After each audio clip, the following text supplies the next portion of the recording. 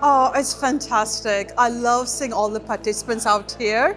You can see um, the nervousness, but the excitement as they look forward to the results tonight as well. I'm a really a big advocate of innovation and I would actually say I see Australia and WA as my home and this is an opportunity for me to give back to my society and to my community as well and especially recognizing and amplifying all the fantastic innovations that are happening in Perth. You know, it's a little bit of a nice isolated city but I would actually say as somebody else mentioned, we're creating a little bit of a Silicon Valley over here. So yeah, definitely the INCITE Awards are very good. Do you know what?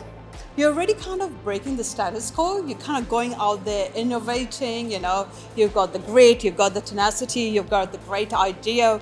Why not amplify it to the whole world so that people can know about this? And you know what? You're delivering a great impact. Let the world know about that impact you're delivering.